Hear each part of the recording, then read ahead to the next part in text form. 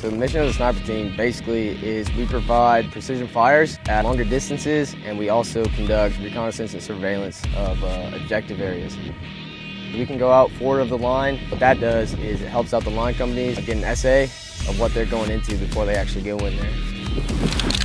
It's nice to be on dry land and shoot the guns. Our new guys got more familiarized with them.